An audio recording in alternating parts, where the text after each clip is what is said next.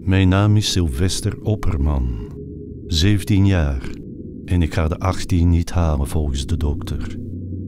Ik was vroeger een heel normale jongen, een jongen met een felrode skelter, die knikkerde met vriendjes en vriendinnetjes, bandnamen op zijn eerste rugzakje schreef en nonchalant tegen de muur aanleunde op schoolfeestjes. Net iets te dicht bij de rookmachine, zodat mijn jeugdpuisjes zich in het rookgordijn konden verstoppen. Maar ik verstop mezelf niet meer. Ik ben een seriemoordenaar.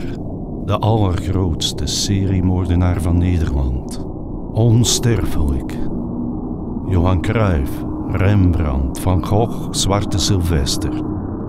Ik zeg altijd maar zo.